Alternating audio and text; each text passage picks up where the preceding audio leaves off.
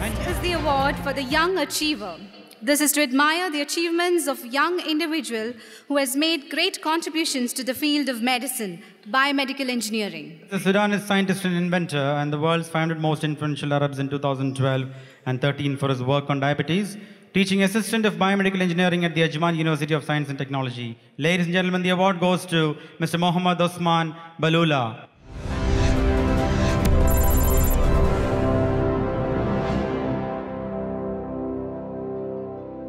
And here he is, Mr.